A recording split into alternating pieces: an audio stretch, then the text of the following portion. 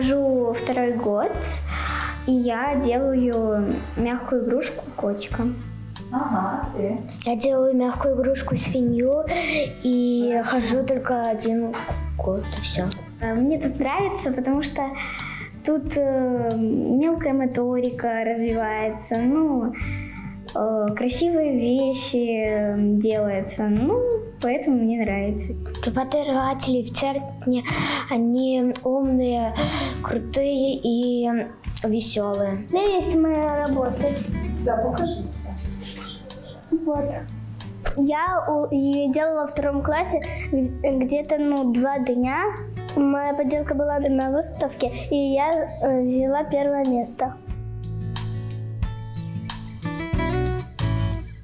Я хожу уже третий год, мне понравилась кожа, потому что тут можно делать всякие сувениры, домой картины, на выставку и помогать Оксане Антоновне что-то делать. А, девчонки, а мне кажется, что это больше такое мужское дело все-таки кожа. Это же нужно вырезать, приклеить, обжечь. Нет? Ну, Терпения у нас хватает. Для этого. работа для всех как работа. семь, Я сюда приезжаю из Вельвачей. Это агрогородок. Я сюда приезжаю ради тренировок. Мне тут нравится. Тра- нравится тренер.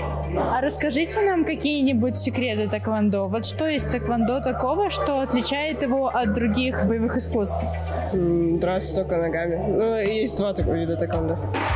Ну, в этом тэквондо драться только ногами. У меня сейчас в руках браслет. Это для моего дяди. Он просил у меня уже давно. Я сейчас делаю шкатулку в виде сердечка. Я подарю ее маме. У меня дома много браслетов, э, смайликов, потом э, брелочков, брошек и, и много картин. Сейчас э, м, я на ниточном дизайне на этапе забивания гвоздей, но потом я перейду на этап плетения нити и получится красивая бабочка. Вот, это наша будущая картина. Мы ее подарим у- учителю на День учителя. А Это- Учитель химии. Хочется его порадовать. На сегодняшний день у нас э, посещают наш, нас, наш центр и дети из ближайших деревень. Кто-то после школы приходит самостоятельно, кого-то приводят родители. Родители очень заинтересованы, чтобы дети развивали свои таланты. В этом году мы даже делали вступительные пробные испытания в некоторые объединения по интересам, потому что спрос был очень большой. И, конечно, хотелось же взять детей, у которых действительно есть способности, и чтобы их развивать дальше. Ребята, которые приезжают из деревень, они, конечно, очень сильно мотивированы, сами дети и сами родители, которых привозят. А, Трудность, конечно, есть, э, потому что подвоза такого в наше учреждение нет. Но хочу заметить, что наши педагоги выезжают в деревню. У нас есть такая практика. В этом году у нас запланирована масштабная работа, а, новое такое веяние. Мы хотим задействовать субботний день в плане того, что наши специалисты, наши педагоги разных направлений деятельности будем организованно, целенаправленно выезжать в сельские школы и э, предоставляя детям возможность заниматься любимым видом творчества.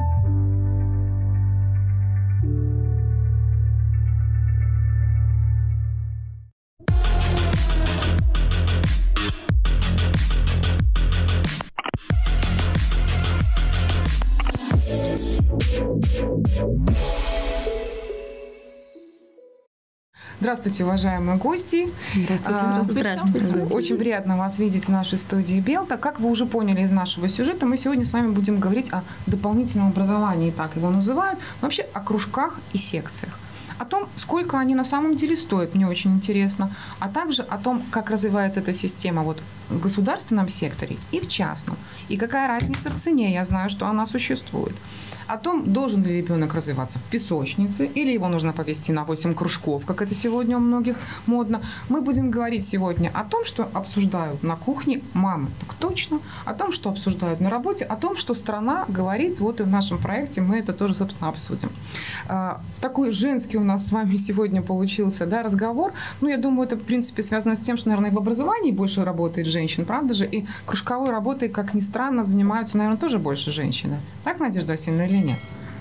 Как в целом в образовании, но сегодня уже у нас присутствует больше мужчин, поскольку у нас э, в тренде техническое творчество. Вот, видите, то есть идет развитие каких-то направлений, о чем, собственно, сегодня мы тоже поговорим. Я очень коротко представлю вас друг другу, да. Это Надежда Васильевна, она у нас директор учреждения образования, Национальный центр художественного творчества детей и молодежи и представляет Минск. У нас в гостях Анна Трубецкая, это наша звезда белорусской эстрады, победитель Гран-при Славянского базара, обладатель. А, для Анны доп. образования стало, собственно, профессией. Стартовой да? точкой. Да, стартовой точкой профессии. У нас в гостях многодетная мама. А, Ее зовут Диана Валентиновна. Она из Островца. И мы с ней поговорим о том, как, собственно говоря, она водит детей в кружки, не водит детей в кружки, дорого это, недорого, да. А вот сколько должно быть кружков? Ольга Михайловна из Витебска нам расскажет, потому что она психолог и, наверное, расставит какие-то точки над «и» в этом вопросе. Ну и кружки, секции, они есть не только, ну так, как было раньше принято говорить, дворцы пионеров, да? В учреждениях да, дополнительного образования. Ну и в школах, поэтому у нас есть гости из города Барановича, зовут Марина Георгиевна, она директор средней школы. А, и вот эти все моменты мы обсудим вместе с вами. У меня такой вопрос. Значит, когда я была маленькая, я ходила во дворец пионеров в городе Могилеве. Потом туда ходили и мои дети, но он уже был не дворцом пионеров, он был дворцом детского творчества. Я ходила по этой дороге, получается, сама, потом с детьми, и словила себя на мысли о том, что вот этой дороги, вот к этому доп. образованию могло ведь и не быть. Если бы в свое время, в принципе, эта система не была разрушена. Я думаю, что все вы здесь согласитесь, потому что, наверное, каждый из вас эти кружки посещал, а сегодня знает, как дети. Это так или не так, Надежда Васильевна? Вот э, правильно ли я говорю? То есть не развалена система была в 90-х, когда развалился Советский Союз, да? И на самом деле сегодня много ли таких учреждений и сколько детей туда ходит вот по таким дорогам? Ну, если говорить об истоках дополнительного образования, действительно, они в системе внешкольного воспитания и обучения. Вот то, о чем вы говорите, это дворцы пионеров и школьников, которые были, мне кажется, достаточно любы, э, любимые у наших детей и у родителей. И, безусловно, э, был осмыслен опыт, взято то, что самое хорошее было. Но сегодня это не просто те дворцы пионеров и школьников, которые были, и особенно вот с принятием кодекса в 2011 году, где четко была очерчена система дополнительного образования, безусловно, они сегодня получили новую жизнь, и не только областные центры, вот как было раньше. На сегодняшний день я вам должна назвать цифру. То есть 284 учреждения дополнительного образования в стране, из них 184 многопрофильные, 80 однопрофильных. Это достаточно внушительная цифра. И мне хотелось бы сегодня, говоря о системе, применить вот три таких слова, как востребованность, качество и доступность. Если говорить о востребованности, то за них мы говорим, что дети голосуют ногами. Ну, наверное, и дети, и их родители. То есть э, они не приходят по какой-то обязанности, они приходят сами, выбирают направление деятельности, Чаще всего не выбирают всегда, Надежда Васильевна, Да. иногда родители на- Я поэтому и говорю родители. То есть Да. в возрасте, наверное, лет до 8-10 даже, может быть. Дальше подростки, вы их не поведете за ручку. Они сами приходят. И, безусловно, вот та цифра, которая существует сегодня в стране, это а, почти 400 тысяч детей, которые посещают учреждения дополнительного образования. Это достаточно внушительная цифра. Да, то есть дети имеют возможность для своей самореализации. Это прекрасно для самоопределения, для э, выбора профессии, вот о чем мы уже говорили. Да? Далее, если говорить о качестве о доступности, о качестве говорят победы наших детей. То есть, э, ну, вообще у каждого своя маленькая победа, когда он приходит в учреждение доп. образования. Безусловно, рядом педагог, который старается обеспечить ему индивидуальную траекторию развития, чтобы каждое занятие э, возникала у ребенка ситуация успеха, что он сделал шаг вперед. Это тоже Это очень не так, как в важно. сюжете девочка сказала, говорит, хорошо, говорит, здесь развивается мелкая моторика. Я точно знаю, что она приходит туда не для развития мелкой моторики, но то сердечко, которое они там показали, да, что вот я это маме, а вот эту картину учителю химии. У них такие глаза горящие, из этого вот можно сделать вывод, что эти дети пришли туда не потому, что их привели туда родители, правда же? Ну, есть очевидно, это вот ребенок услышал где-то выражение, что Это- это связано с умственной это деятельностью, неплохо, и она это- погордилась это этим, что моторика. одновременно у нее такие процессы важные идут.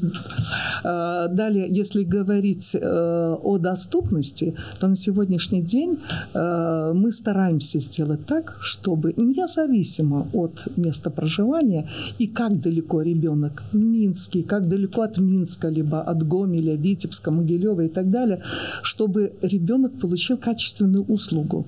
Я вот сегодня даже вам такой маленький пример приведу, э, очень показательный. Агрогородок Гомельской области. Вот у нас недавно была неделя дополнительного образования республиканская, страновая.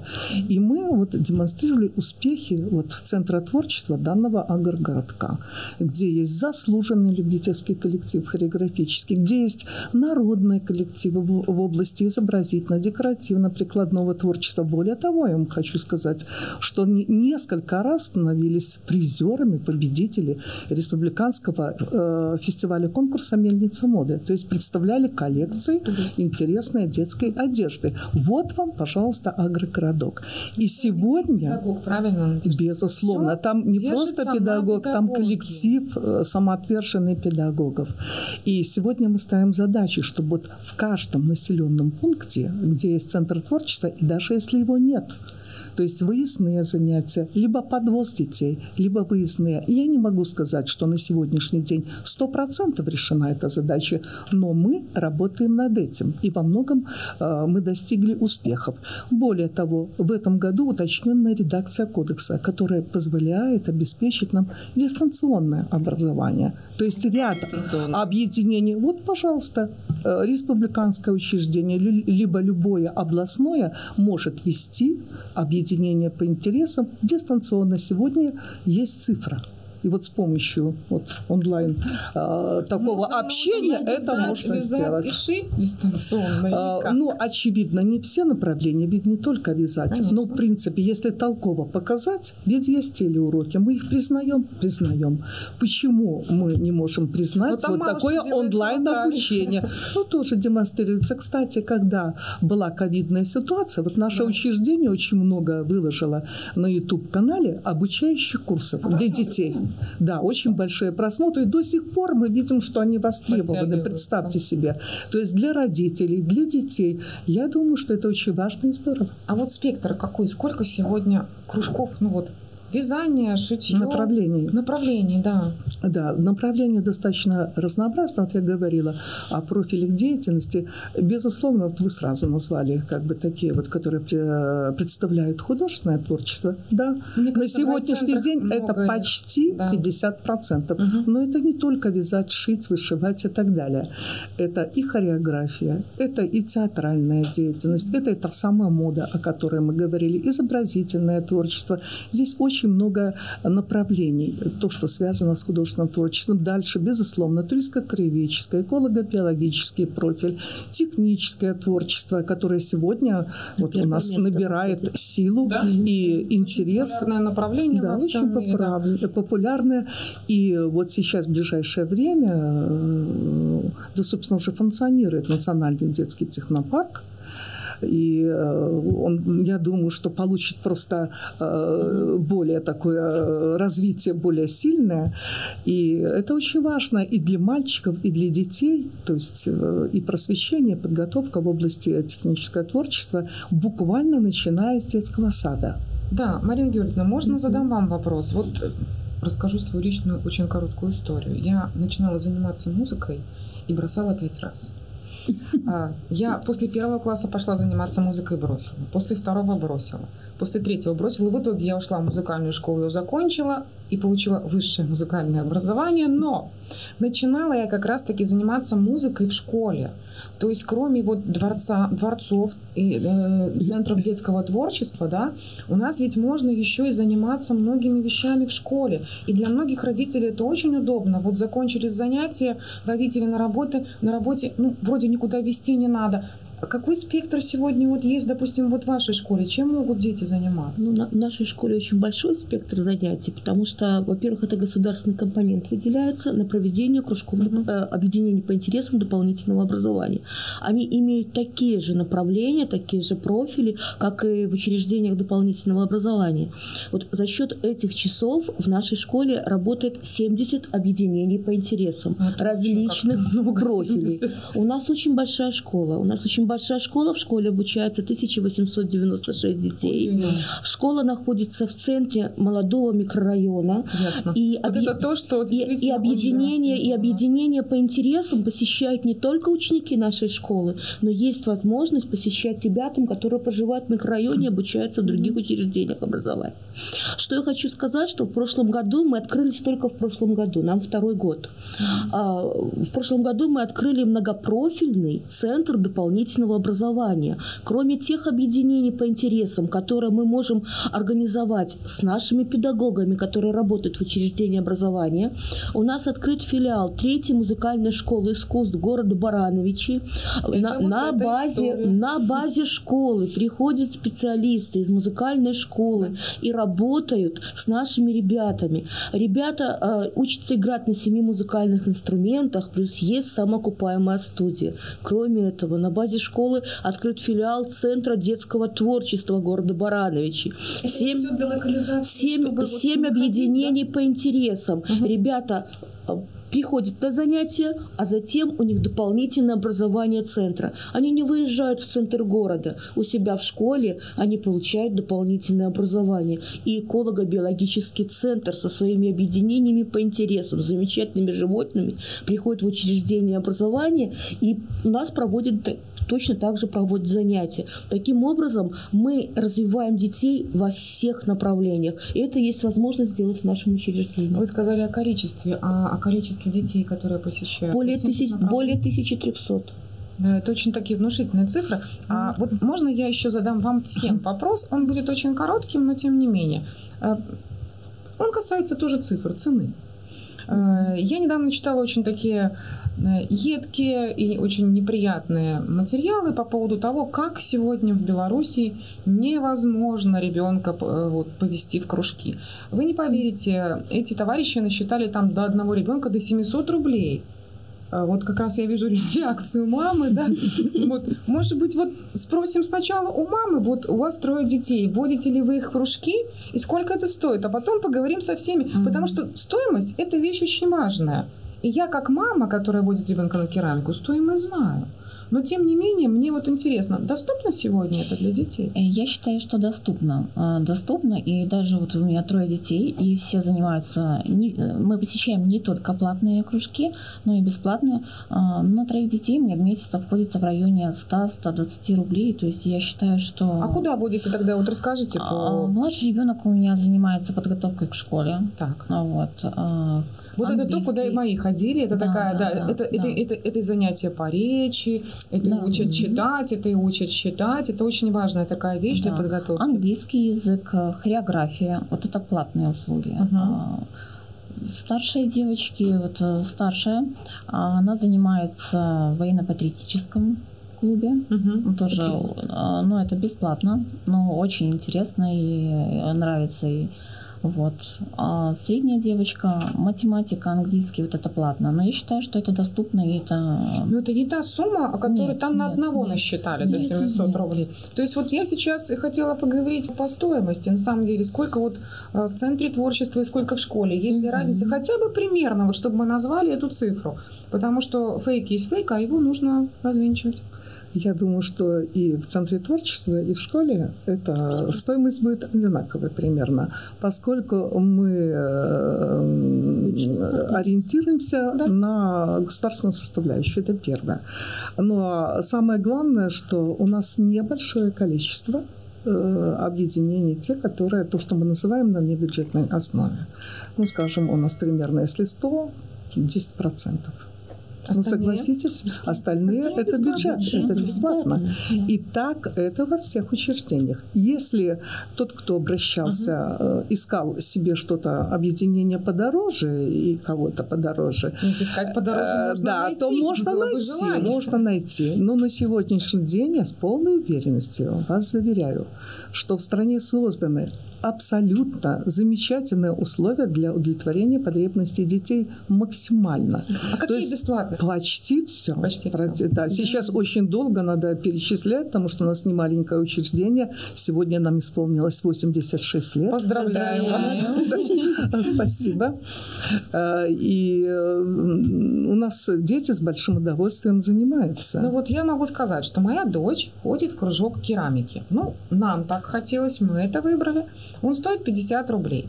Но он 50 рублей, так скажем, Надежда Васильевна, стоит уже который год. Я все смотрю и думаю, когда же он подорожает. В Я месяц честно- 50 рублей. Месяц. Но это два занятия в неделю, то есть это 8 как бы занятий в месяц. Больших проблем на самом деле я здесь не вижу. Но я могу сказать, что есть люди, еще раз говорю, которые рассказывают о том, что они куда-то пошли, и им чуть ли 700 рублей не хватило. В связи с этим у меня вопрос. Все-таки вам всем, вот есть государственное образование, у нас есть еще и частное, да? Насколько мы можем сегодня контролировать процессы, которые там происходят? Насколько там цены адекватные, неадекватные? Я думаю, что, может быть, вы знаете, можете их сравнить. Ну, суммы откуда-то такие возникли. Вот сейчас вопрос о государственном и частном, назовем так, образовании, он вышел на уровне главы государства. Правда, по другим вопросам, по другим проблемам. Это были частные школы и государственные школы. Но мне вот интересно просто ваше отношение к этим вещам. Ведь там действительно могут задрать цены. Я знаю, что некоторые академии стоят, ну, по 100 УЕ, это значит 250-300 рублей в месяц точно. Есть же такие цифры? Очевидно, есть сегодня вот э, Ну, то, что вы назвали Да. академия, это больше в области IT, и на сегодняшний день это э, достаточно популярно у родителей, ну и, соответственно, у детей. Но вот отношение к частному, я считаю, что, да, могут быть как государственные, так и частные. должна быть конкуренция, Но- конечно. Нет, конкуренция должна быть. Но э, вот все эти вопросы, которые касаются образования, то, что касается детей, эти вопросы должны быть хорошо контролируемы государством. Согласна. Потому что э, это дети. Кто работает с ними, имеется в виду, насколько человек подготовлен, Конечно. Э, насколько созданы условия, насколько они соответствуют вот тому, э, чему должны соответствовать в области, скажем, пожарной безопасности, вообще вопросов любого жизнеобеспечения детей. На это родители должны обращать первейшее внимание, первейшее внимание, потому что вот дороже жизни ничего нет. Дальше уже после этого вопроса возникают, кто работает и как работает, насколько это полезно для ребенка. Поэтому да, все могут быть на рынке присутствовать, но это должно контролироваться, безусловно. Как руководители школы? Э, В Барановичах есть частные? Конечно, Барановичах, Конечно, Барановичах, конечно же, как и везде, как в любом городе, есть частные учреждения дополнительного образования. Но там больше не- учреждения дополнительного образования, какие-то отдельно, будем говорить так, объединения. А вот, что касается ценовой политики, она действительно тоже разная. Они сами планируют цену, сами рассчитывают бюджет. Ну, и родители сами выбирают, куда им И родители идти. сами выбирают. Хотят сюда, хотят Да, сюда, ш- и по цене, и по качеству, Я согласна, я совершенно согласна. Но что же касается вот нашего учреждения образования, у нас в школе бесплатно все. Все объединения по интересам, которые э, из э, сторонних организаций, они тоже бесплатны. Единственная музыкальная школа. Так вот, я хочу озвучить сегодня стоимость музыкальной школы. А, все музыкальные инструменты, кроме гитары и фортепиано, стоят 16 рублей в месяц обучения. Всего лишь 16 рублей. Фортепиано и гитара 18. Какая разница? 18. Да, ну, это- это А, очень Цены, а, я разговаривала с директором этого учреждения, цены фиксируемые государством, то есть такая Здесь цена в городе этими Да, ценами. да, Тогда да. никогда мы не услышим с вами цифру 700, Мы не услышим, потому что по высчитал. стране, в Минске, в Могилеве, в Барановичах это одна цена для ребенка и для родителей. А Вот. Ну, я совершенно согласна с вами, что каждый родитель вправе выбирать то объединение по интересам э, и заводить своего ребенка. Поэтому здесь это выбор родителей. Конечно. И А у- детей. И детей, да. Выбор родителей и детей, я всегда говорю своим родителям, а ваш ребенок хочет заниматься А в это этом объединении? И тогда родители говорят, ну надо подумать, нужно разговаривать с ребенком. Да, вот я да. хотела сейчас как раз-таки обратиться к нашему психологу. Ольга Михайловна, скажите, вот э, в принципе мы ответ-то знаем, но нам нужна основа психологическая. Кто должен пойти на кружок? Папа, который не, реализовался, к примеру, в хоккее и очень хочет, чтобы Петя, Миша, а может и Даша за него там Есть. реализовались, да? А еще в семье есть мама, которая А не еще стала, мама может- свои претен- Да. э, интересы не И вот мне реализовала. кажется, что очень часто бывает так, что дети дореализовывают родителей, которые в детстве чего-то не додали. Даже не дореализовывают, а наоборот за счет детей стараются реализовать свои желания, потребности. Хотя это неправильно, потому что ребенок это личность, у которого есть свои желания, свои потребности, свои данные. И прежде всего, выбирая кружок по интересам, да, дополнительное образование, нужно исходить из того, что хочет ребенок, куда он пойдет с удовольствием, да, когда будет маму подгонять, мам, ну пошли быстрее, там уже педагог, наверное, пришел, и я хочу туда, да, и есть второй вариант, когда мама тянет бедного малыша на кружок, потому что я так хочу, да. А в истории потом бывают такие случаи, когда вот родители таким вот образом, собственно говоря, ломают, э, ломают жизнь? Знаете, Вы же общаетесь с детьми, наверняка. Общаюсь, да. Мы, мы, не, мы тайны чужие не хотим знать, но мы хотим знать, есть ли такие истории, когда дети от этого действительно страдают. Есть. Могут сказать об этом. Есть, да, и когда ребята, например, музыкальную школу, это реализация желание мамы, да, чтобы ребенок играл на фортепиано, а ребенку это совершенно не надо. Он заканчивает музыкальную школу, приносит, отдает Вот, диплом. мама, твой диплом. Да, все. И больше к инструменту не, по- не дотрагивается вообще, да.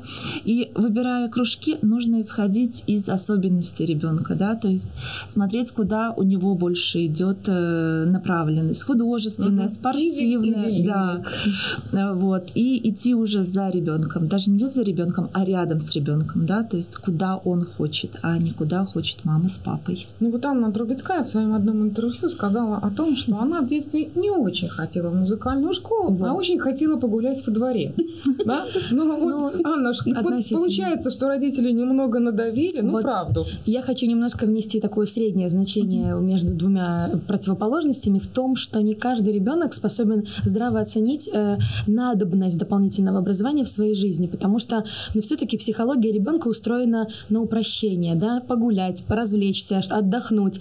Не каждый ребенок готов собраться и пойти туда, где, например, иногда бывает сложно. И вот в моей жизни была такая же ситуация, что я первый, второй, третий класс в музыкальной школе, все хорошо, все успешно, удачно, сдаю зачеты, пою в хоре, но преподаватель у меня по фортепиано был достаточно суров. И постепенно отбивал мое желание быть в музыке. Вот я однажды пришла. это то, о чем мы Это говорили, я, да? да, просто не стала перебивать, но хотела дополнить, что ваш, под вашими словами подписываюсь под каждым, потому что это правда важно. Э, преподаватель, умеющий привить любовь, потому что он может также ее и отбить. Так вот, однажды я пришла к маме и сказала, мам, все, я больше не хочу, не могу, не буду. В истерике, в слезах я это помню, как сейчас. И моя мама нашла в себе силы, э, нашла для меня правильные аргументы, чтобы убедить меня в том, что это временная сложность. Слишком много пройдено, чтобы сдаваться. И она убедила меня в том, что я должна остаться в, в детской музыкальной школе и продолжить обучение. Мы просто поменяли педагога. Мы перешли с фортепианного отделения в вокальное, где вокала было больше. И так постепенно я поняла, что сейчас уже, будучи э, взрослой, я поняла, что это очень важно было тогда не сдаться. И тогда я не могла Главное, еще оценить. успеха, Тогда да, я не могла еще произошла. оценить, что бросив школу, я могу просто потерять свое любимое дело и не стать, например, ну, той, Тем, я кем я могу сегодня. быть сейчас, да. А есть и много историй. Вот э, у меня у знакомого была такая история с детства, что, грубо говоря, хотел в хоккей, мама просила учиться на музыкальном инструменте. Спустя полгода мама узнает, что, оказывается, ребенок уже полгода тайком ходит в секцию хоккея. И потом э, э, заводит все равно. главное. Но ведь Такая ходит. мотивация. Да. А потом, да. потом э, из-под палки заставляет вернуться в музыкальную школу, а приходит преподаватель и говорит, он не будет играть на инструменте, отдавайте в хоккей, все. Это безусловная любовь, да, то есть вот туда ребенка можно отдавать и даже не думать, что там ему плохо, тяжело или еще что-то. Поэтому здесь очень важная составляющая. Родитель, преподаватель и истинный интерес ребенка. Ну, Вот еще вернемся к вопросу потом, как Анна будет со своими детьми, учитывая свой опыт. Ну, у к психологу. А сколько должно быть этих самых секций? Потому что есть родители, которые э, считают, вот не хочет никуда, вот она правильно говорит, не может ребенок еще оценить. Ему хочется, собственно говоря, да, погулять во дворе. И говорят, не надо забирать у ребенка детство. Пусть он вот наблюдает за муравьями в песочнице, и, собственно говоря, он тоже таким образом развивается. Его научит двор, а потом уж как захочет. А некоторые выписывают такой график, который смотришь, и кажется, что его не может выдержать взрослый человек. Ведь существуют такие вещи потом, как передозировка, когда дети ходят, как белка в колесе, они крутятся, они устают, они выгорают, и потом взрослая жизнь становится просто адом.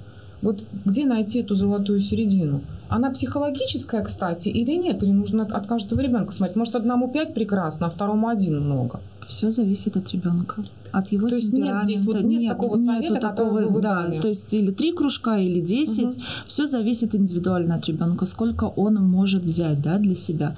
И не нужно перенагружать ребенка, потому что тем самым отбивается мотивация и уже к учебной деятельности, потому что ребенок устает, когда он там 5 часов после занятий да, школьных еще на кружках ходит. домашнее а потом задание. домашнее Да, да. задание, школа, да. Не нужно забывать про режим дня ребенка. Э, Сон никто не отменял, да, 8-9 часов это нормально, когда ребенок должен выспаться, да, то есть отдохнуть. Вот.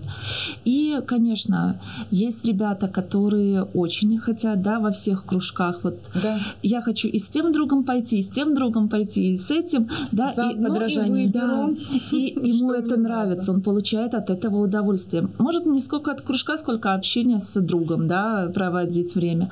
А кому-то хватает и одного кружка, да, ребенок идет в один кружок, он там получает максимально пользы, максимально удовольствия от всего, и ему достаточно недостаточно. То есть вот должен чувствовать родитель эту, э- эту грань. И никаких советов мы здесь ему не Нет, дадим. должен. Прежде всего, это каждый родитель лучше всего знает своего ребенка и что для него хорошо. Вот оно, вы понимаете, понять бы грань. Вот, может быть, мама Анна подумала, я вот так хорошо знаю, Анна так плачет, она так устала. А вот честно, я Жалость, услышала от Анны, когда она рассказывала, что первый, второй класс, как ей нравилось, да, музыкальная школа, а потом произошел, ну, недопонимание, да, с преподавателем. Это, естественно, должен И быть у нее же, да, у нее же было у самой желание, это не мамино Да, желание нет, было, а мама ее поддержала, она поменяла ей преподавателя, да, поменяла ей направление класса. Была найдена истинная причина проблемы. Ну, то есть Да. дело не в моем э, нежелании, а в преподавателе, который пытается его как бы Ну, не отбить. сошлись, да, да, так, да, характером. да. Но мама Анну поддержала, но не наоборот. И прежде всего у Анны было у самой желание заниматься музыкой. Да, это ну, насколько правда. я да, да, да, услышала. это правда. Ну, потому что были сразу успехи, была сразу какая-то концертная деятельность, и там уже было все предписано, Хорошо, скажем а, так. а- а другого ничего не хотелось? Хотелось. До девятого Стрелять класса лука, я хотела быть тэквондо. хирургом. Ходила на факультативы биологии и химии. Но когда я поняла, что химия — это не варить зелье, это решать формулы. Как женщина, она думала, что все-таки варить зелье. Да, да, и я поняла, что это не мой темперамент. Я не смогу 6 часов, я хотела быть хирургом, я искренне увлекалась этой темой, я все операции, кровь, меня ничего не смущало. И когда меня спрашивали, Аня, ну ты что, ты же певица, ты же артистка, я гордо говорила, я буду как Розенбаум, я, у меня будет образование хирурга, я буду певицей. Но как только я поняла, что химия реально не мое, ну мне, я тогда уже была в том возрасте, когда я могла оценить, то я поняла, что все. Ну, то есть не Оставляем творчество. Нет. Но я при всем при этом считаю, что э, дополнительное образование важно для любого ребенка, потому что детская музыкальная школа, она не просит тебя быть профессиональным музыкантом. Я считаю, что музыка и музыкальная школа — это интеллект. Игра на инструменте — это моторика. Ходите, да. ходите, раз- развивайтесь, потом решите, кем вы хотите быть. Не, не каждый выходец из музыкальной школы стал музыкантом, но он всегда вспоминает с любовью это время, и это, ну, все-таки какой-то пример, да. интеллект. И в этом пример. Да, я дирижирую, но только... Еще роль мамы. И роль мамы. Да, да. Э, Вы знаете, я думаю, что не просто мама вас уговорила, а мама заметила ваши способности. Да, конечно. И поэтому все-таки поддержала ваше желание и пойти в музыкальную школу, и потом вас убедила. И очень важно, чтобы родители могли вот это своевременно Да. заметить, способности своего ребенка и склонность к тому или иному виду Да, творчества. но у меня была идеальная формула. У меня папа музыкант, у меня был пример музыканта в семье. У меня были мама, папа, бабушка, которые заметили мой дар, когда я взобралась на стул и спела песню, никому не ожидая. Никто не ожидал этого. А, и плюс ко всему сверху э, такой мощной нагрузкой э, была бабушка. У меня бабушка преподаватель э, в институте экономики. Она знает, что это, как это преподавать и как важно Бабушка образование. То есть бабушка, да, она была... зрения, она э, понимала. да, она была таким э, связующим звеном доказывания важности образования в моей жизни. Вот. Мама Диана. Всё сошлось. Да, Ну, все а как, сошлось. вот, как вы разобрались в вашем-то, что нужно? А. И вот, кстати, я вот сейчас, подводя итог, у вас там у кого-то один кружок, у кого-то два? Да, Да? средняя девочка, она выбрала сугубо шитье. Ей нравится делать игрушки из фетра. А, Мы ограничились одним кружком. вот это то, что дополнительное. И в школе посещает э, дополнительную математику и английский язык. Но все это сугубо личное ее желание. То есть я не давила, Вот я не нигде вы заставляла. не, не предлагали им? А, единственное, со старшей девочкой, она у меня поющая девочка, и мы начали петь с садика. Вот э, я благодарна воспитателю, она ее начала развивать. тоже, видите, воспитатель. Да, да. И она занималась э, с четырех лет.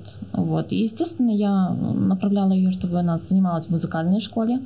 Действительно, были победы, которые радовали всю семью, и вот это стимулировало ее. А Сейчас она тоже продолжает заниматься еще в музыкальной школе.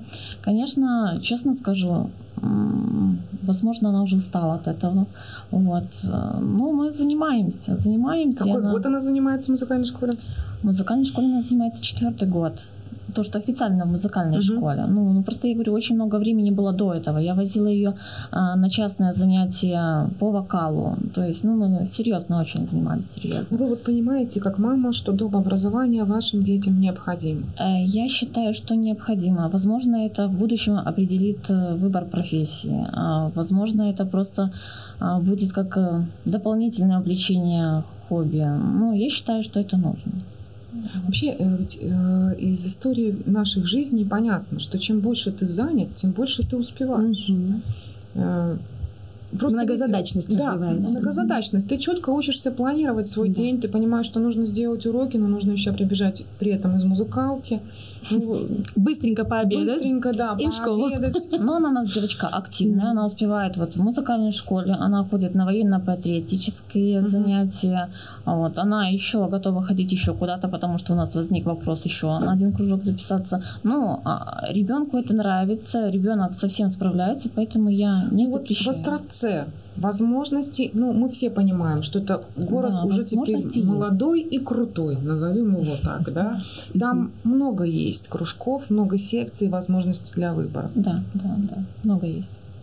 В центре творчества, а, то есть выбор, и вот вы правильно сказали, что не все они платные, то есть э, довольно большой выбор бесплатных занятий. Вот когда мы говорим о школе, и вот вы сейчас сказали, еще ходит на математику и английский.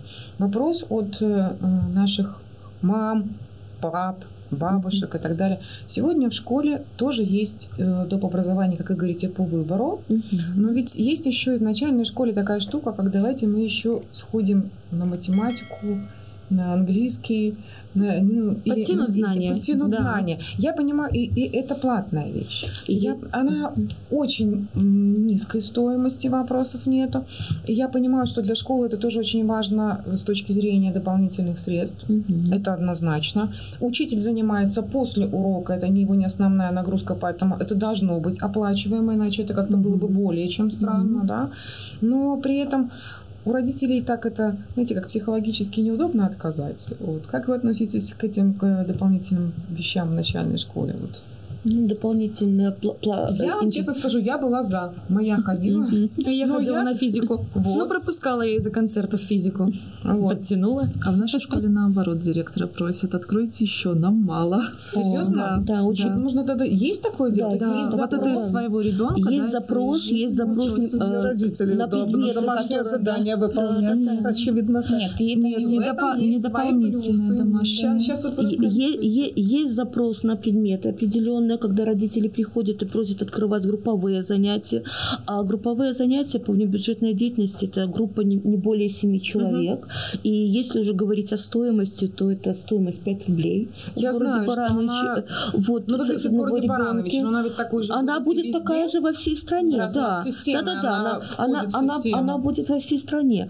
Вот индивидуальное занятие, она стоит дороже, но это индивидуальное занятие 45 минут проводится. И опять же, только по заявлению законных представителей, не по желанию руководителей, не по желанию классного, э, классного руководителя, а по желанию законных представителей. Для того, чтобы оформить Ну, э, внебюджетную деятельность, подтянуть знания, да. родители пишут заявление, заключается договор на сотрудничество. А и это только образование или нет? Нет, это не доп. образование.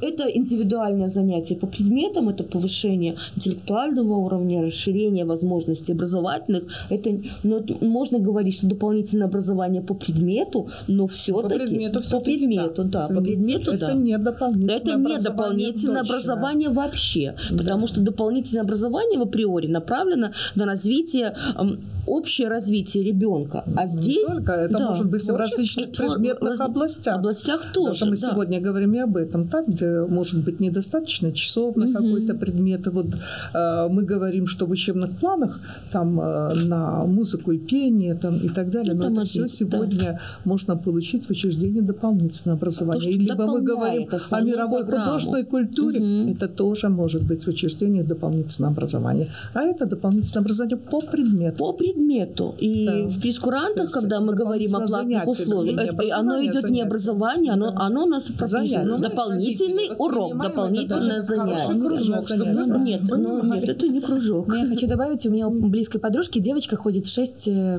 кружков. Это дворец профсоюзов, театр, балет, плавание, английский язык и сейчас дополнительная э, подготовка к школе, к первому классу. Так И вот, это даже все еще Анна до школы? это до школы, ей 6 лет. Это уже и балет, и театральный кружок. Ну, там вообще, там девочка, она сама очень развитая, ну и мама ей в этом помогает. Так вот, я когда пришла м, с подружкой забрать девочку с плавания, 30 рублей стоит одно занятие, но там очень серьезное э, такая, такое занятие, часовое, там профессионально все, больше как в спорт идет наклонность.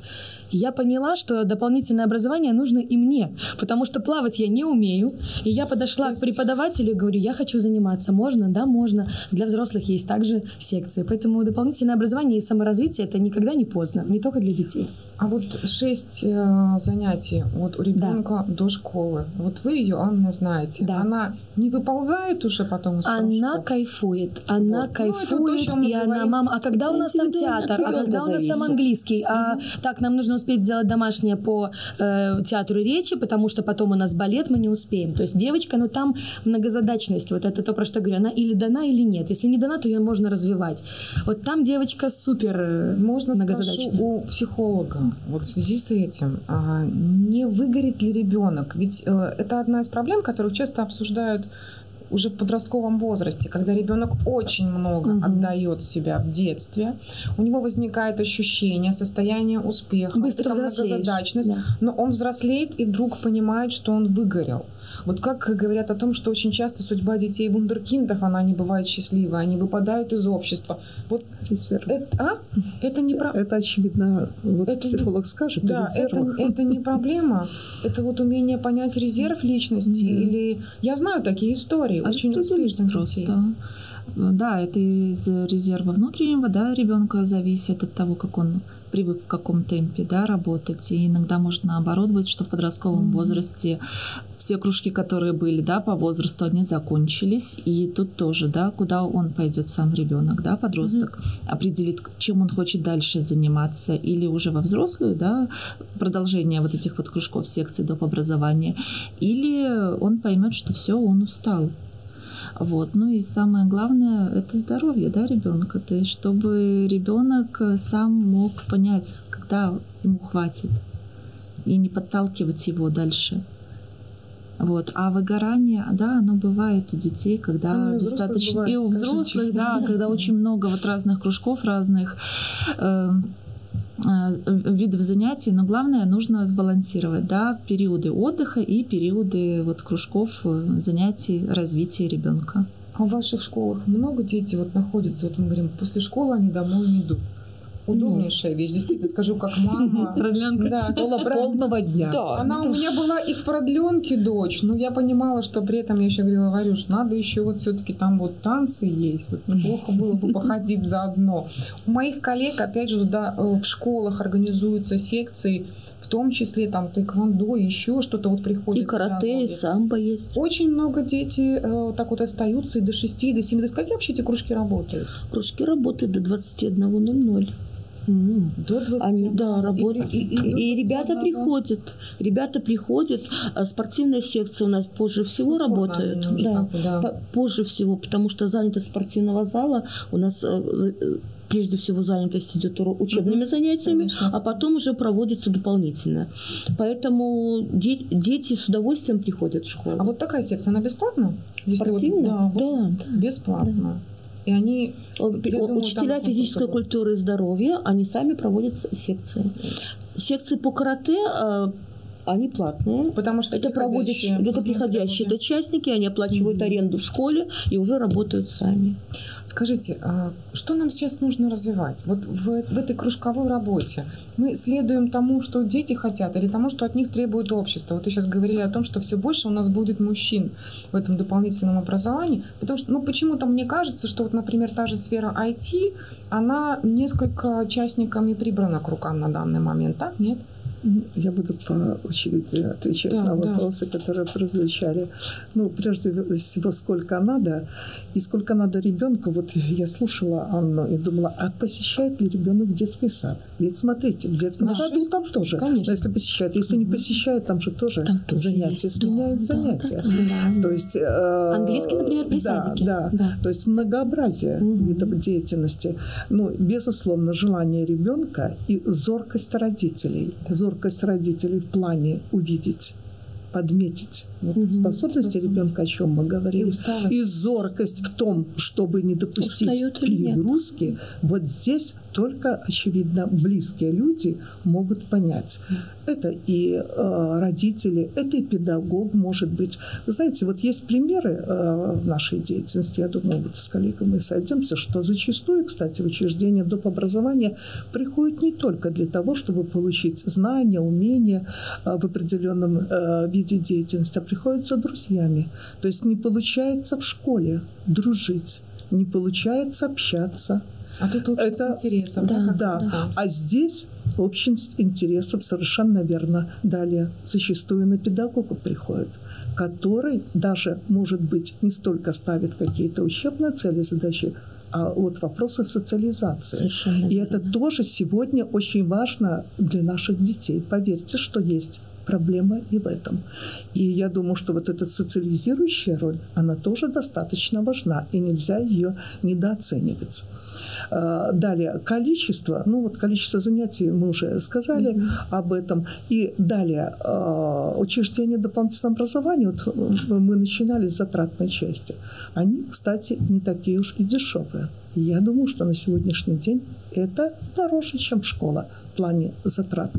И на сегодняшний день это ресурсные центры для того, чтобы можно было детям реализоваться в полной мере в том или ином направлении. Каждая школа не откроет там, скажем, вокальную студию хорошую, да, Анна, вы согласитесь? профессиональным то есть педагогом. оборудованную и так далее. И это в любом направлении, кстати, да, творчество. Да, то есть, а если вот здесь, да, и пришли дети и знают, что начально можно начальную подготовку получить и где-то попроще в классе, а для того, чтобы уже на более высоком уровне, да, надо прийти там, где Специалистам. педагог более высокого уровня, где созданы условия соответствующие. Вот это направление у нас дополнительного образования. То есть в этом направлении мы и работаем, чтобы обеспечить высокого качества услугу для наших детей. И э, да, мы говорили о том, что сегодня почему и больше мужчин, но я надеюсь, что они придут э, больше и в различные направления, и все меры предпринимаются вот Министерством образования, государством, это поддерживается э, очень. И, но вот то, что вот такое внимание сегодня техническому твор, творчеству, IT-технологиям, то есть да, действительно цифра в нашей жизни, и мы никуда от этого не денемся. И, безусловно, все это связано на сегодняшний день. Если посмотреть э, объединение по интересам данных направлений, да, в основном это мужчины. В основном. Не значит, что сто процентов, но в основном. И это очень хорошо, что и сегодня национальный технопарк получает свое развитие, э, и э, на местах поддерживается техническое творчество. Э, Я думаю, что это приведет, безусловно, в идеале, это должно приносить дивиденды в виде каких-то открытий, в виде э, развития научно-технического процесса, э, прогресса в целом нашей страны. Я надеюсь, что вот это все, безусловно, это сказывается. Смотрите, какого высокого уровня наши дети. Где они не появятся, все-таки я с гордостью говорю, что на всех международных мероприятиях наши дети очень заметны. И мы этим 100%. очень... Вы Да. согласны? Согласна, Беларусь да? очень всегда талантливо представляла. Да, да. И это, э, безусловно, в том, что наши дети талантливы, это ведь заслуга не только э, генетики, скажем, в том, что родители такие Ну, без неё, но замечательные, всё-таки но без система работает, педагога конечно. это все-таки Анна, не ну может вот если быть. говорить о системе как раз-таки выстроенной государством, четкой системе, вы же выросли вот в ней и видите на этих конкурсах, что белорусы Абсолютно. представлены не только в вокальном творчестве, но и, извините, и великолепно танцуют, великолепно поют, выигрывают международные конкурсы.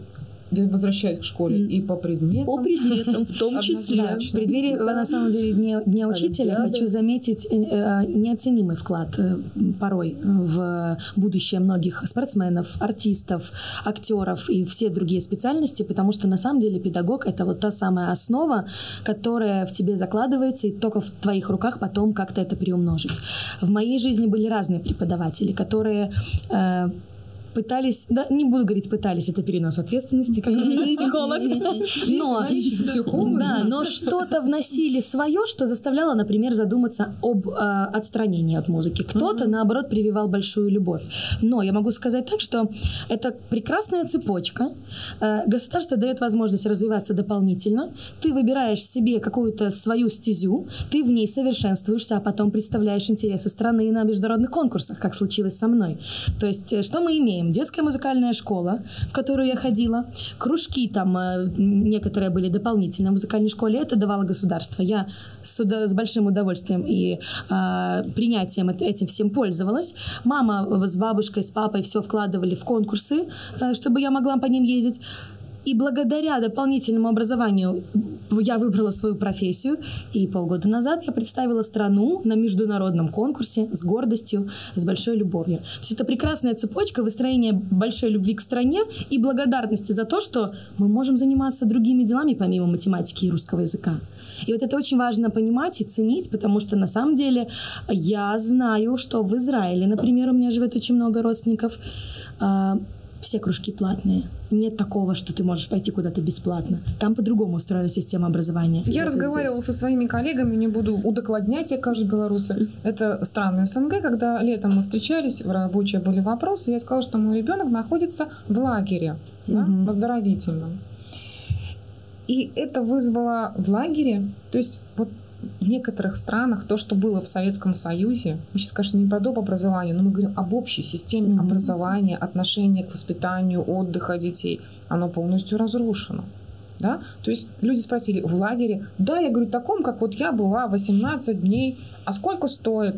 А стоит вот столько, а государство мне вот это вот выдало, а от предприятия помогли, и мой ребенок там ну, практически за копейки.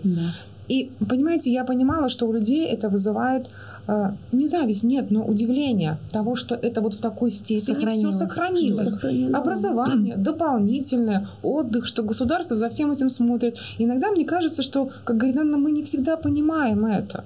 Это нужно куда-то поехать и поговорить с коллегами там из Израиля или еще из других стран, чтобы понять, какая там медицина, какое там образование и так далее. И потом ты понимаешь, что это все надо принимать не как данность, и что, знаете, Думаю, как бы отсутствие ценности, а наоборот, еще больше начинаешь, начинаешь ценить то, на чем даже не Конечно, задумывался. с большой благодарностью, Да, да. потому что социальная политика нашей страны, она просто уникальна. Конечно. А как устроена эта система, Надежда Васильевна? Вот вы же знаете, как она работает, например, в других странах. Ведь опыт есть. Да, безусловно, опыт есть и партнерство есть с различными учреждениями, но в Европе это называется неформальное образование. Это совершенно другое. То есть это, во-первых, э, вот то, о чем говорили уже, платность, во-вторых, это разовость, как бы, да, вот прийти на какое-то мероприятие, в чем-то поучаствовать там и так далее. А вот э, оздоровление, оно практически вот такое оздоровление, как у нас, ни у кого нет такого оздоровления. Ну, Это безусловно. И вот такой системы дополнительного образования, вот э, я хочу пожелать каждому ребенку и каждому родителю, безусловно, чтобы для каждого ребенка вот нашелся свой педагог. То есть наша система это позволяет. Для того, чтобы вот уникальность таланта ребенка раскрыть. Э, Нет неспособных детей. Абсолютно. Вот это абсолютная истина. Нужен только чтобы в свое время, в своем месте нашелся педагог. А у нас достаточно талантливых педагогов, чтобы помочь ребенку раскрыть его потенциал и реализовать. И это очень важно. И если говорить вот о системе дополнительного образования на сегодняшний день, она достаточно оснащена всяческими материальными ресурсами. И самое главное, что она богата нашими уникальными педагогами. Э, это, мне кажется, самое важное. Когда есть человек, потом под него все найдется. Все, все, вот все, все найдется. На личности, на энергии, на желании. Да. И не да. только. Практически, если я вас заверяю, что на сегодняшний день, вот если есть педагог, который способен реализовать программу дополнительного образования по тому или иному направлению деятельности, то, как правило, находятся ресурсы. Потому что э, мы очень поддерживаем талантливых, инициативных педагогов. За ними идут дети. И вот проводя конкурсы, кстати, вот лидерские, либо вот э, коллега говорила об олимпиадах, и я всякий год удивляюсь, думаю, вот сегодня какие замечательные дети. Через год думаю, а, еще круче, еще интереснее. Ну откуда же такие возможности?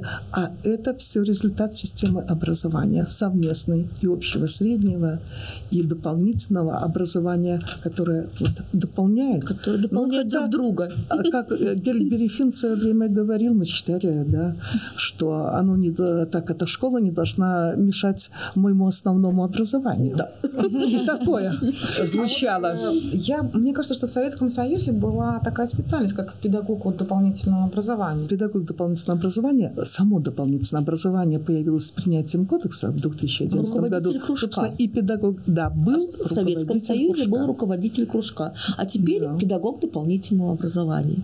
А вот те люди, которые работают у вас, вот вы говорите, 70 секций, пришедшие, это понятно. А когда, например, учитель литературы ведет драм-кружок, он ведет потому, что так надо вести, или потому что Нет, он потому понимает, что, что потому что она понимает, что, он что может. это интересно. Прежде всего может, И может правда? Да, да, совершенно верно. Не каждый может вести. У нас, не вот, каждый. у нас есть объединение по интересам в школе, оно называется «Первая роль». И это, это ведет специалист, который действительно это может. Это ведет Ну, это ваш учитель русского языка, литературы, да. Но у нас объединение по интересам ведут и наши педагоги, и, как я уже говорила, педагоги, которые приходят совместители. Вот вы знаете, мне кажется, что я когда приходила домой, я все время с мамой разговаривала по свою Елену Антоновну, это мой педагог по фортепиано, да. Я точно сейчас понимаю, что мы все время о ней говорили. Я точно понимаю, что мой учитель по дирижированию Татьяна Васильевна сыграла в моей жизни роль, потому что мы не только дирижировали, мы еще и разговаривали. Да? Я действительно училась чему-то от них. Вот вы видите, даже как психолог и как мама, вот любовь ваших детей к и связку вот эту. Она состоялась, Честно, важно это? Да, очень важно. На примере своего ребенка я ему позволила, начиная вот с детского садика, мы меняли кружки каждый год, но он, Так. он искал то, что ему нравится. Он занимался, у него был интерес, но когда приходил август месяц, я спрашивала, ну что, пойдем? Он говорит, а я хочу что-то другое. Вот я там А вы психолог понимали, что он ищет, да? Да, я понимала, и я ему давала такую возможность найти себя, чем он хочет заниматься. Сейчас у меня ребенок в шестом классе учится, и мы остановились на спортивной секции и на художественной направленности. Да, там у меня ребенок пошел за преподавателями, и не знаю, я очень счастлива, что он больше времени проводит в школе, потому что это после занятий в школе Это все его занятия. выбор, опять-таки, вот и ситуация, как говорите, общение с людьми близкими по духу, Да. занятыми И ему очень делом. нравится. То есть и со школы, да, с одноклассниками там в, в в эти кружки ходят и одноклассники, и ребята с параллельных классов, чуть старше, чуть меньше, да, по возрастным категориям. Ему очень нравится. И я очень счастлива, что у меня ребенок просто с удовольствием ходит в школу. У него горят глаза, когда он идет в школу и говорит про свою школу. Я приведу вам пример одной, одного сообщения из чата, вот по керамике, уж скажу так. Э, Родители, у нас же сейчас модно, да, у нас все сейчас общаются в чатах. Вот можно просто прочесть чат и понять, что происходит в школе, на кружке. Просто мнение сразу развернутое и все есть. Онлайн-дневник. Да, онлайн-дневники, все есть. И э, вот из этой серии мама пишет педагогу, что у ребенка слезы, потому что ему нужно ходить в бассейн, и это время совпало с керамикой. Можно ли мы перенесем время? Да, отвечает педагог. Да? Респект педагогу. Да. Можно ли мы будем ходить там с другой группой? Вот, то есть, понимаете, получается, что дети некоторые, вот они, как вы говорите, ищут, ищут, вот это надо, а сюда, а сюда вот как бы душа зовет.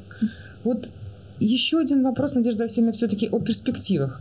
Я не люблю эти вопросы, да, мы подвели итоги, разобрали, а теперь что нас ждет в будущем. Но все-таки, чего нам сегодня не хватает и что надо? Хотя мы, еще раз говорю, прекрасно понимаем, что система выстроена уникально. Что нам нужно дальше? Вот вы хорошее слово употребили. Уникально. Значит, уникальная система требует уникальных людей. Всегда нужны уникальные педагоги. Это безусловно. Можно все создать, здание построить и все у них э, сделать. Ресурсы нужны, будут, да, нужны люди. Нужны люди. Это всегда. У нас они, к счастью, я уже говорила, есть, но, безусловно, это же должно быть постоянное пополнение вот таких же с горящими глазами, понимаете, которые вот сегодня кто добивается успеха? Безусловно, вот очень увлеченные люди, правда? Да. Вот пример с рядышком с нами, да, с детства, либо в какой-то момент жизни можно. Если сегодня говорили о выборе кружков, я бы даже говорила, что, наверное, полезно прийти и разрешать по разным кружкам ходить. Сегодня кодекс это позволяет, кстати, познакомиться с различными кружками, даже прийти и первый месяц, и пойти в один, второй, третий. А, на сегодняшний день вот взаимопонимание а, педагогов, родителей – это а, залог успешности ребенка. А приходят молодые с горящими глазами. Зарплаты ведь небольшие, давайте будем откровенны в да. этой системе приходят, Молодые, приходят. С горящими глазами. Вы знаете, далеко не все остаются. Я всегда говорю, давайте распределять молодежь. Давайте распределять, потому что, да, есть те, кто на сегодняшний день вот э, заниматься целым коллективом, постоянно быть с ними на связи, вот как мы услышали от мам. Да. То есть постоянно ребенок может в любой момент или родители написать, позвонить и так далее. Не каждый к этому готов педагог. Да. Многие приходят и хотят только по времени отработать Сейчас это и не горя очень это, сильно. Это, есть и такие, да, да. есть и такие, надо признать. Но нет, и он не удерживается, и у него не будет коллектива. И я детей. опять подписываюсь Правда? под вашими словами. Да, буквально в последнее время я столкнулась с вопросом, Аня, пожалуйста, начните преподавать. Мы хотим, чтобы наш ребенок занимался с вами. А я понимаю, что я сейчас не готова отдаваться до конца. У меня по жизни такая установка. Или во все тяжкие с головой и полностью в процессе, или никак. Вот этих полумер я не терплю ни в своей профессии, ни в других. Поэтому я понимаю, что мне сейчас открывать студию ради коммерции, ну нет, я слишком люблю свое дело. Поэтому вот я согласна, что педагог должен искренне любить свое дело. И если ты уже педагог, дело де- и детей. И то, да, то ты должен любить и детей, и дело, и быть с головой там. Вот, например, именно по этой причине я не иду в преподавание, потому что сейчас моя цель это личная карьера. Потом, когда я уже э, захочу этого искренне, Потому это будет мое желание. Будет сутками там нужно быть. будет заниматься да. друг, э, карьерой другого человека, там, да, вкладывать. Пока я на это не готова. И вот призываю всех молодых педагогов четко давать себе честный ответ. Ты готов преподавать детям искренне, со всей отдачей или нет? И не только работать, я бы сказала, там жить надо. Там надо жить. Вот есть такой коллектив, если говоря о вокалистах, есть заслуженный любительский коллектив «Радуга». Бордунова да. Николаевна, Могилев. Сколько вокалистов, практически наша эстрада вышла оттуда, будем так говорить. Но она ведь не работает, она живет этим делом и воспитала целую плеяду педагогов, которые работают в этом коллективе. У нее порядка 500 детей. Это не это маленький коллектив. И это целая жизнь. Там можно книги писать об этой жизни. Поэтому я думаю, что вот когда есть такие педагоги и воспитывают себе смену, ну, конечно, надо говорить о хорошем будущем э, нашей системы дополнительного образования и о хорошем будущем наших детей. Мерси, и, и дополнить я, я хочу, хочу да. дополнить. коллектива, вот просто Когда работаешь жить. с педагогами, приходят педагоги молодые, я постоянно их настраиваю на работу и говорю, девочки, вы должны понимать, что ребенок вам должен сказать, учитель, я тебя люблю не за то, кто ты, а за то, кто я, я с когда тобой, ты да. рядом со мной. И поэтому личность ребенка, прежде всего, она должна выходить на первое место. И, только, и рядом с ним творческий педагог, я совершенно согласна. Педагог горящий и любящий то дело, которым он занимается. Потому что иначе дети все почувствуют. И просто а дети придут чувствуют. на второй Там урок. просто работа не проходит. Да, да. Там просто так не бывает в дополнительном образовании. Я очень благодарна вам за эту беседу и хочу всех вас, всех вас поздравить с наступающим Днем Учителя, потому что мне кажется, что это все равно для, для всех праздник, особенно для наших педагогов, психологов, мам, которые тоже являются педагогами на самом-то деле. С Днем Учителей пожелать вот всех благ и понимания того, что развитие любой системы, да, будь то система школьного, дополнительного образования, развитие творческой личности, воспитание детей, психологическая помощь, ничего не будет строиться без любви и без горящих глаз.